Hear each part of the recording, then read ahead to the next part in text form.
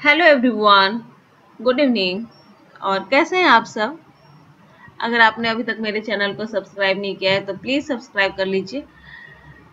और वो जो बेल आइकन है दिया हुआ, उसको आप दबा लीजिए ताकि मेरे सारे वीडियो का नोटिफिकेशन आपके पास जल्दी पहुँच जाए। और, बस अभी मैं किचन में हूँ और शाम का हल्का फुल्का खाना बना रही हूँ। हल्का फुल्का इन द सेंस की बहुत सिंपल से नेनुआ की सब्ज़ी है और रोटी है आज डिनर में। तो नेनुआ की सब्ज़ी में वैसे भी बहुत कम मसाले पड़ते हैं और जो इसका प्योर जो होता है, जैसे टेस्ट इसका बना रहता है, उस तरह से बनाते हैं तो टेस्टी लगता है। तो यहाँ पे मैंने तड़के के लिए लिया है राई, जीरा और लहसुन। हाँ तड़का लगाई हूँ, इसमें प्याज भूंज करके मैं डाल रहे, ले रही हूँ। इससे टेस्ट बहुत अच्छा आता है। नेनुआ को छील करके मैं काट ली हूँ। तो नेनुआ को दो चार बार चलाने के बाद इसमें चना डाल देंगे, काले वाले चने, छोला चना नहीं। और उसके बाद फिर इसमें हम हल्दी और नमक डालकर ढक कर पका लेंगे। तो ये बहुत जल्दी तैयार होने वाला सब्ज़ी है और बहुत टेस्टी है। और बहुत हल्का फुल्का मतलब इन द सेंस की तेल मसाले बहुत कम पड़ते हैं, इसमें तो अच्छा लगता है टेस्टी लगता है ये सब्ज़ी तो यहाँ पे बस मैं नमक, हल्दी डाल लूँगी, ये सब्ज़ी बहुत ही सिंपल बनता है। तो हमारी सब्ज़ी जो है, वो फटाफट विद इन फिफ्टीन मिनट में तैयार हो जा, जाने वाला सब्ज़ी इससे ज़्यादा टाइम नहीं लेता। हाँ ज़्यादा सब्ज़ी अमाउंट में रहता है, तब तो लेता ही लेता है। बट इससे अभी इतना, इससे ज़्यादा टाइम नहीं लेता है। और इसके साथ मैं बनाने वाली हूँ रोटी। और चने के साथ ये दाल के साथ भी बनता है, चने के साथ भी बनता है, आलू टमाटर के साथ भी इसको बना सकते हैं, वो भी टेस्टी लगता है तो कई तरीके से बनता है अपना अपना टेस्ट है। बट ये वाला तरीका भी बहुत ज़्यादा अच्छा है।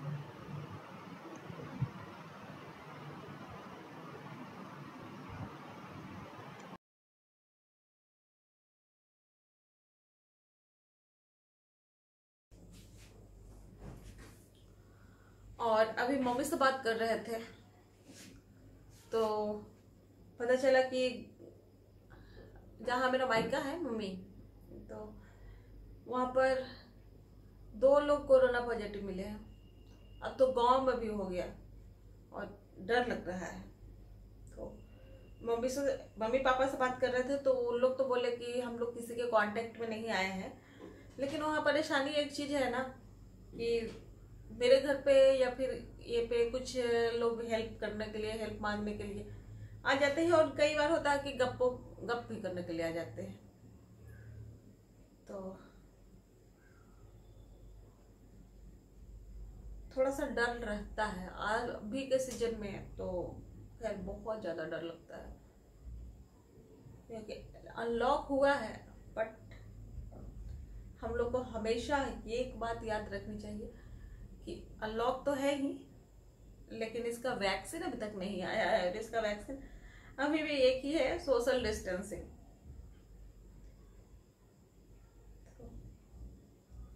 डर लगता है, पता नहीं क्या होगा।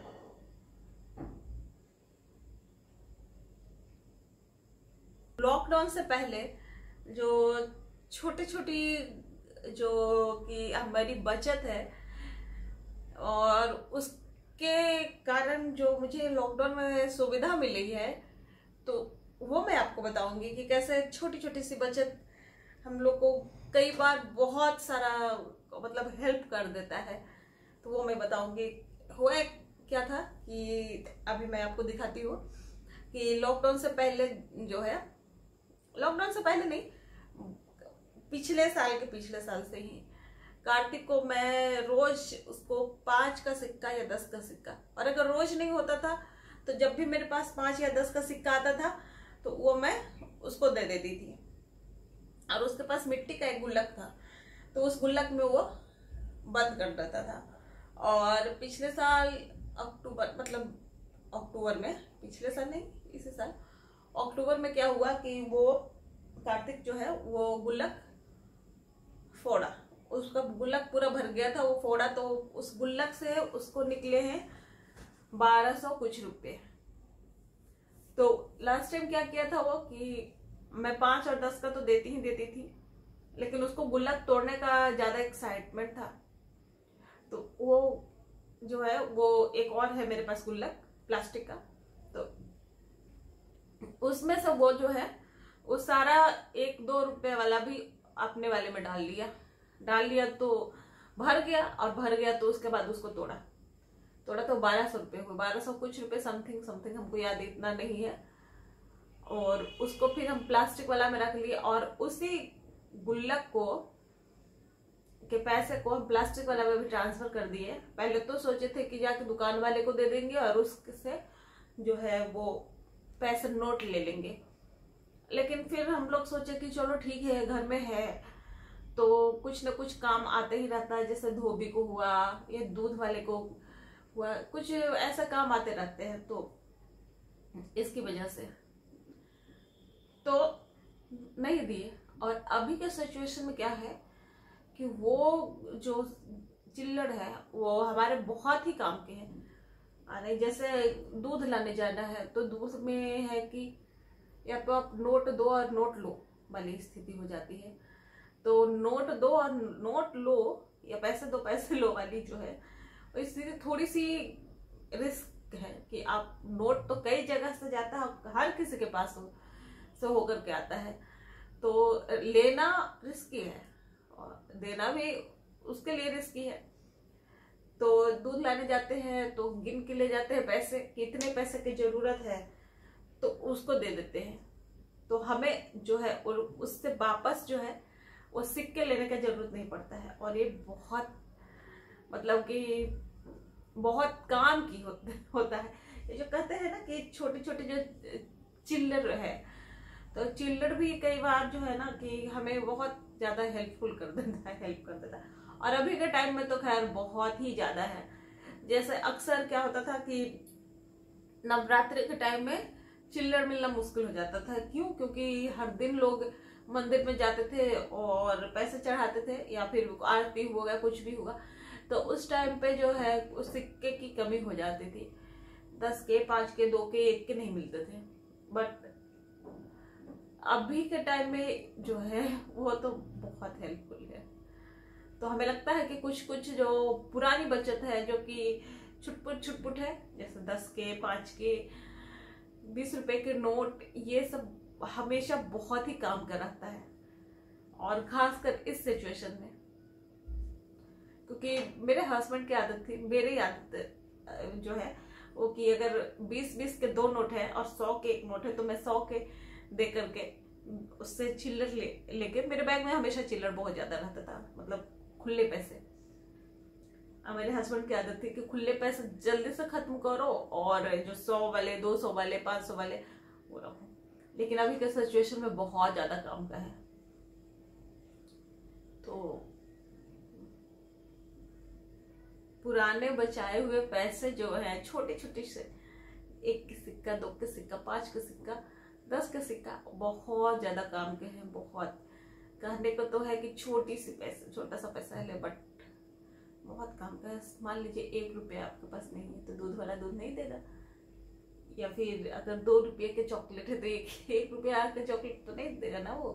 एक मतलब एक रुपया लेके जाइएगा तो तो यही चीज़ है। ये तो सिचुएशन तो आपको मैं दिखाती हूँ अपना, जो खजाना है पैसों वाला, वो मैं दिखाती हूँ। और हम लोग उसको क्या कहते हैं? चालू खाता। मतलब उसमें जहाँ से भी सिक्का आता है, अब तो खैर यहाँ टेबल पे रहता है। सिक्का या पैसे जो भी बाहर से अगर आए तो उसको सैनिटाइज करके या धो करके यहाँ पे टेबल पे रखता है। अदरवाइज़ पहले जहाँ से भी आता था ना तो उसमें डाल देते थे। तो चलिए हम आपको दिखाते हैं कि हमारा बड़ा बड़ा खजाना कहाँ है।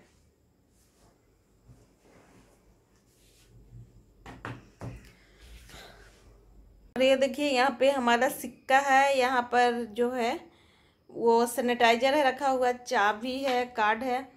ये लिफाफा है, जो कि अभी कोरियर वाला देके गया है तो ये ऐसे ही अभी रखा हुआ है। और ये है हमारा पैसों वाला खजाना। ये यहाँ से डालते हैं, और इसका बेस्ट पार्ट यहाँ से निकल जाता है इसका। एक खो गया है। कार्तिक का कोई दोस्त आया था और वो खो दिया है। क्योंकि उस टाइम पे सारे लोग मिल करके सिक्का गिन रहे थे, उस समय कम था इसमें। और अभी इधर से हम लोग डाल देते हैं और निकाल भी लेते हैं। और ये ऐसे ही टेबल पर जो है पड़ा रहता है। यहाँ से डाल देते हैं। और यहाँ से हमें जितना पैसा भी निकालना रहता है, देखिए नीचे से निकल गया है। तो नीचे से जितना पैसा भी हमको निकालना रहता है, वो सारा निकाल लेते हैं और यहाँ से डाल देते हैं। जो भी हमारे पास सिक्का आता है, वो सारा यहीं पे रहता है। तो ये हमारा चालू खाता है। छोरा ये छोरा तो मेरा सारा का सारा। ए, नो नो, देखो तुम क्या क्या किया? ए, बाबू, ए, नो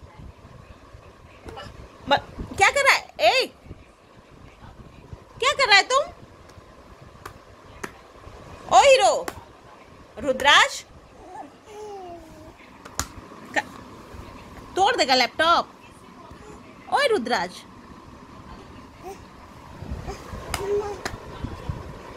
ना बेटू, ऐसे ना करो। रुद्राज। रुद्राज? नो। सो जाओ ना। ओ गॉड ऐसे हाथ बाँध दूँगी मैं तुम्हारा। हाथ बाँध दूँगी।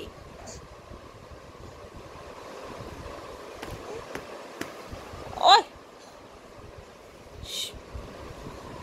इसको पीछे खींचिए। और इसको सुलाइए जरा। ए भोलू सो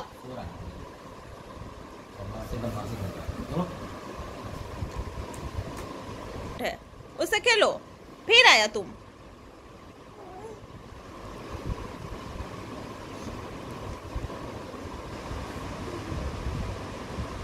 बहुत पिटाई लगेगी। बहुत पिटाई लगेगी। देखो भैया सो गया। तुम भी सो जाओ। रुद्राज? तो बस मैं इसको सुलाने की कोशिश करूँगी। और फिर मिलते हैं आपसे एक नए ब्लॉग में। नए वीडियो के साथ, तब तक मेरे चैनल को सब्सक्राइब कीजिए, लाइक कीजिए और शेयर कीजिए। और बने रहिए Indian mom lifestyle channel पे। Bye bye.